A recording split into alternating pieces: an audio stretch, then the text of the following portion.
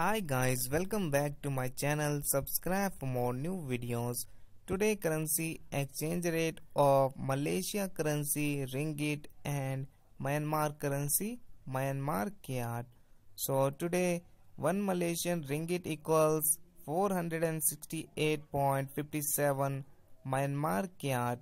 1 Malaysia currency rate in Myanmar currency 468.57 kyat and 100 Malaysian ringgit equals 46,856.77 Myanmar kyat.